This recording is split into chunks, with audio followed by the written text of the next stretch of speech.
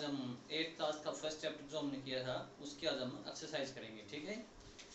Starting with the MCQ first MCQ बच्चे आपका which of the following is a not a cereal इनके अंदर से बच्चे सीरियल कौन सा नहीं है? सीरियल क्या होते हैं बच्चे आपके? अनाज rice wheat maize and gram तो क्या ऑप्शन आएगा बच्चे इसका? ग्राम आएगा, ठीक है? नेक्स्ट ऑप्शन है बच्चे आपका which of the following is a not a kharif crop kharif crop क्या होती है बच्चे? इनका सीज़न कब से कब होता है आपका? जुलाई, अगस्त से लेकर आपका सितंबर, अक्टूबर तक का होता है। तो ऑप्शन क्या क्या बच्चे हमारे पास? Wheat rice maize and groundnut अब देखो बच्चे स्टार्टिंग वाले दो ऑप्शन देखो आप वीट एंड राइस हमें पता है वीट और राइस क्या बच्चे, कभी भी एक साथ नहीं उगाई जाती। दोनों का सीज़न क्या होता है बच्चे? अपोजिट होता है। अपोजिट मतलब एक सर्दी में उगाई जाती है, एक गर्मी में उगाई जाती है। हमसे क्या पूछा गया बच्चे? इनमें से कौन सी खरीफ की फ़सल नहीं है? Which of the following is not a kharif crop तो कौन सी नहीं है बच्चे? वीट नहीं है। क्योंकि बच्चे ये कब उगाई जाती है आपकी? सितंबर अक्टूबर, नवंबर में उगाई जाती है, ठीक है? और कौन सा सीज़न होता है बच्चे आपका? रबी का सीज़न होता है, ठीक है? नेक्स्ट बच्चे आपका which of the following is not a rabi crop इनके अंदर से कौन सा बच्चे आपका रबी क्रॉप नहीं है? ऑप्शन क्या बच्चे? वीट ग्राम पिया एंड राइस तो यहाँ पे क्या हो जाएगा बच्चे आपका? राइस हो जाएगा, ठीक है? Fourth question which of the following nutrients is rich in compost compost के अंदर कौन सा, इनके अंदर रिच है? ऑप्शन है बच्चे हमारे पास ऑर्गेनिक न्यूट्रिएंट्स सेकंड ऑप्शन है बच्चे हमारे पास नाइट्रोजन थर्ड ऑप्शन है बच्चे हमारे पास फॉस्फोरस और फोर्थ है आपका पोटेशियम तो ये क्या पूछा बच्चे हमारे पास which of the following nutrients is rich in compost इनके अंदर से बच्चे ऐसा कौन सा है जिसके अंदर बहुत सारे न्यूट्रिएंट्स मौजूद हों? अब देखो बच्चे, इसके अंदर क्या होगा? सिर्फ़ नाइट्रोजन मौजूद होगा। फॉस्फोरस के अंदर सिर्फ़ फॉस्फोरस होगा। पोटेशियम के अंदर पोटेशियम होगा। लेकिन ऑर्गेनिक न्यूट्रिएंट्स के अंदर क्या होगा बच्चे? सारी चीज़ें मौजूद होंगी। तो ऑप्शन क्या आएगा बच्चे आपका? Organic nutrients which of the following is not a fungal disease of a plants इनके अंदर से बच्चे कौन सा आपका फंगल डिज़ीज़ नहीं है?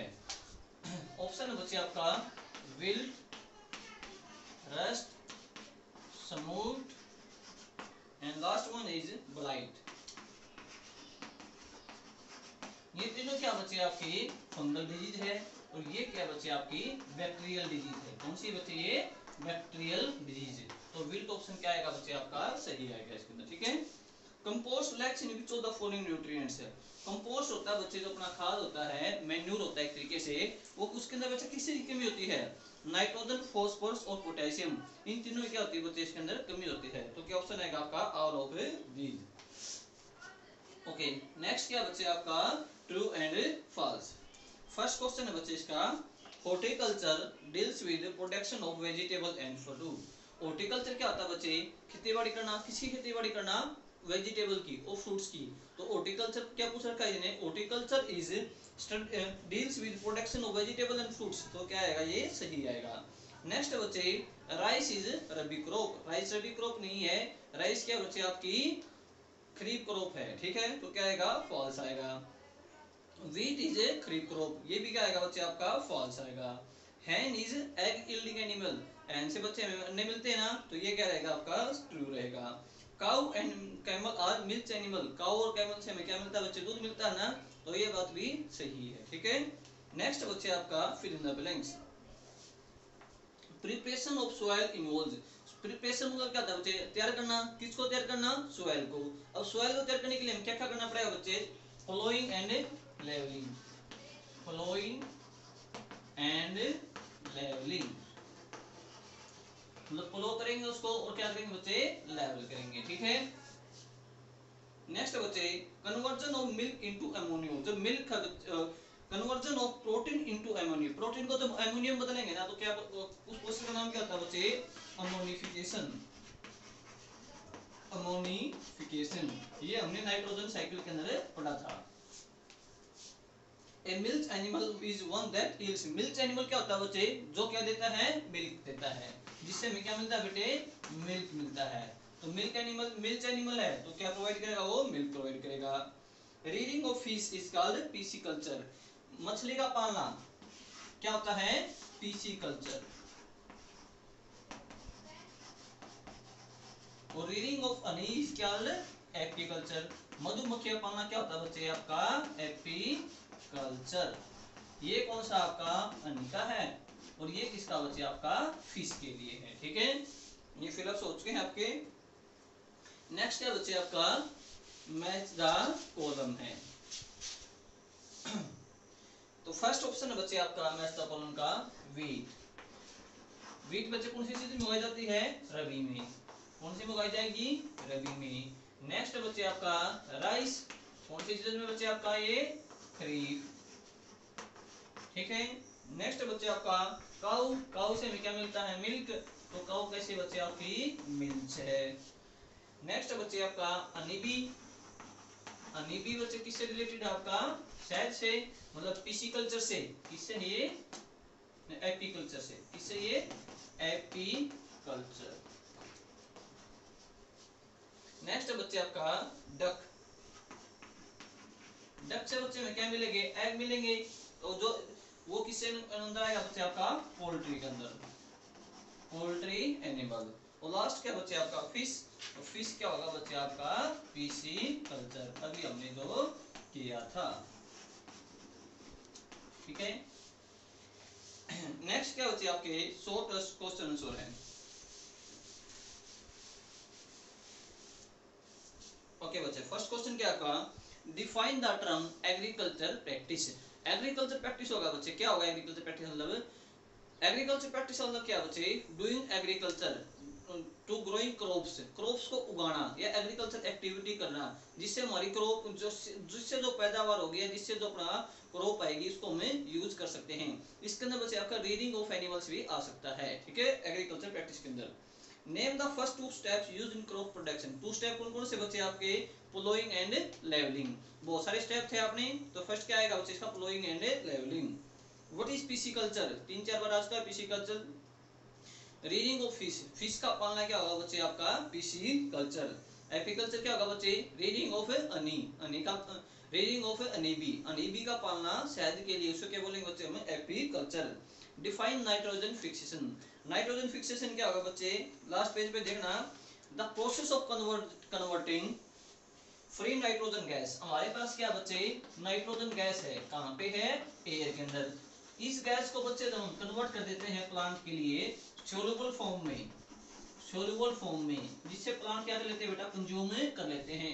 तो इस पूरे प्रोसेस को क्या बोलते हैं बेटे? नाइट्रोजन फिक्सेशन नाइट्रोजन गैस को कन्वर्ट करना सोलुबल फॉर्म में, जिसको प्लांट क्या कर ले बच्चे? प्राप्त कर ले। The process of converting free nitrogen gas to the atmosphere into nitrogen compounds.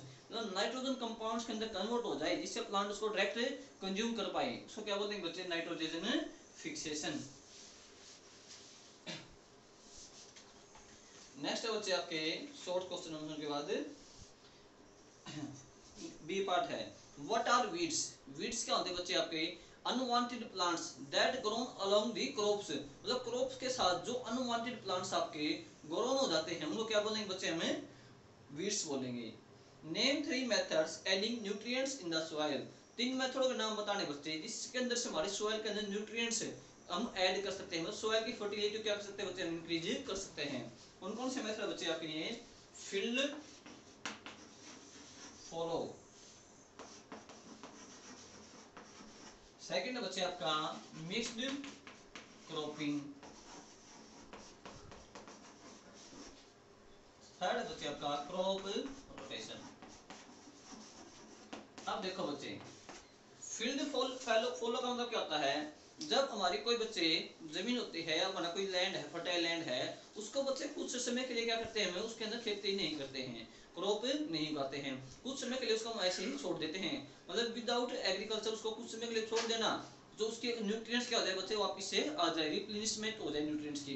इसको क्या बोलेंगे बच्चे? फ़ील्ड फॉलो मिक्स क्रॉपिंग क्या होगा बच्चे? मतलब एक ही फ़ील्ड के अंदर तीन चार तरीके के अलग अलग क्रॉप्स उगाना क्रॉप रोटेशन क्या होगा बच्चे?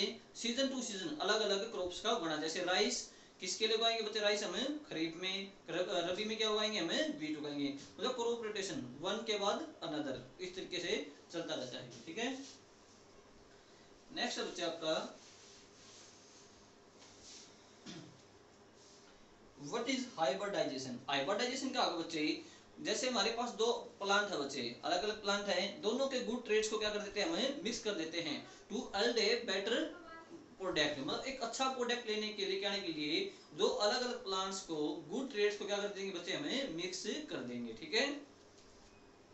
नाइट्रोजन एसिमिलेशन एसिमिलेशन क्या होता है बच्चे? ग्रहण करना।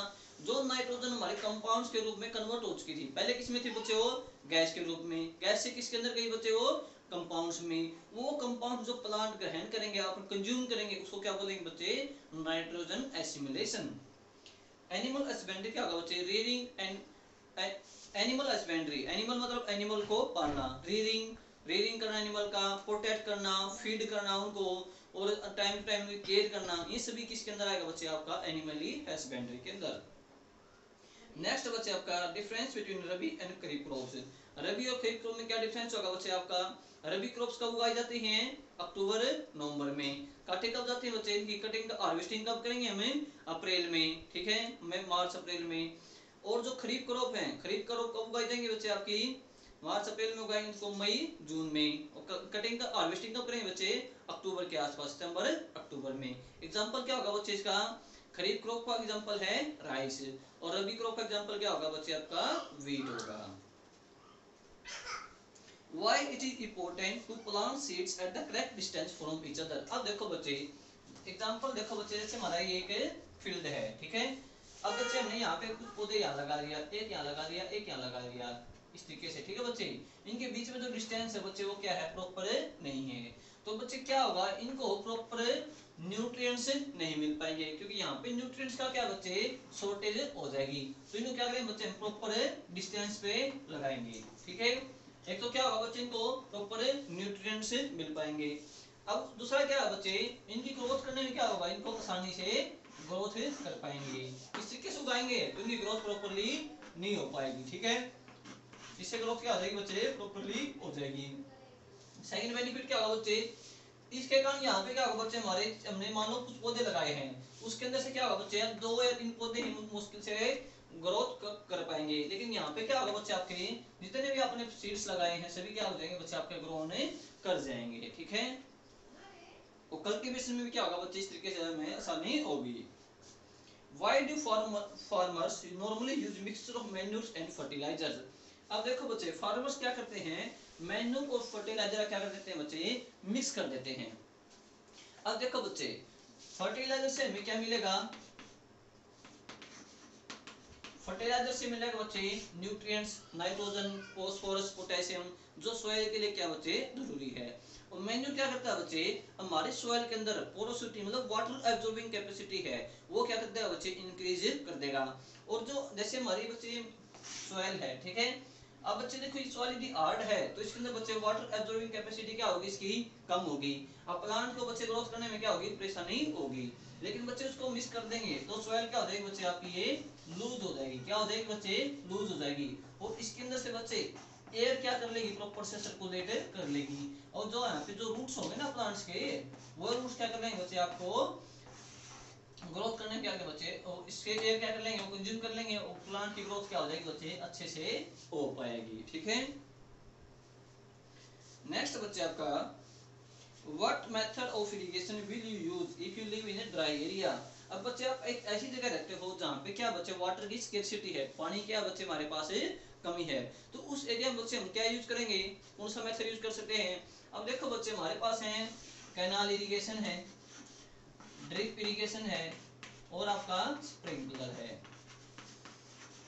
अब देखो बच्चे कैनाल सिस्टम का लोग कहाँ पे यूज़ करेंगे? जहाँ पे हमारे पास अबंडेंस ऑफ़ वाटर होगा, बहुत ज़्यादा वाटर होगा, वहाँ पे हम कैनाल सिस्टम का यूज़ करेंगे।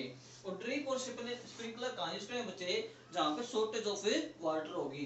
तो कौन सा यूज़ करेंगे बच्चे हमें? ड्रिप और स्प्रिंकलर ठीक है? नेक्स्ट क्या बच्चे आपका? Difference between manure and fertiliser manure और फर्टिलाइज़र के बीच में क्या डिफरेंस होते हैं बच्चे आपके? मैन्यूर क्या होता है बच्चे आपका? इससे बनता है नॉर्मली मैन्यूर को बच्चे हम जैसे घर पे ही बना सकते हैं। इसको बनाने के लिए फैक्ट्री की ज़रूरत नहीं होती है। मैन्यूर को बनाने के लिए बच्चे हम फैक्ट्री की ज़रूरत नहीं होती है।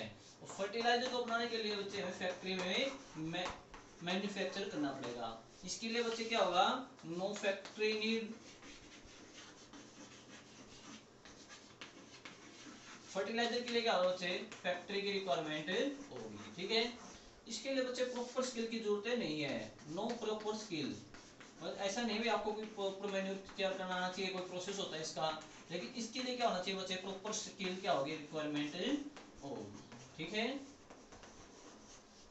ये क्या होगा बच्चे आपका? आसानी से मिट्टी के अंदर डिजोल्व नहीं होता है, ठीक है? लेकिन वाटर एब्जॉर्बिंग कैपेसिटी क्या करता है बच्चे? ये इंक्रीज कर देगा। ये आसानी से डिजोल्व हो जाएगा, लेकिन वाटर एब्जॉर्बिंग कैपेसिटी क्या रहता है बच्चे? कम में कर सकता है, ठीक है? ये क्या होंगे बच्चे आपके? नेचुरल सब्सटेंस होंगे। और ये वाले क्या बच्चे? आपके मैन मेड होंगे। ऐसे होंगे बच्चे आपके ये मैन मेड होंगे, ठीक है?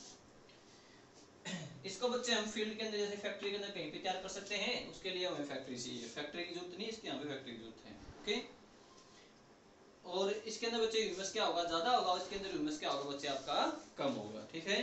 Okay that's complete your exercise if you have doubt now further can message me or uh, mention in comments okay? Have a good day.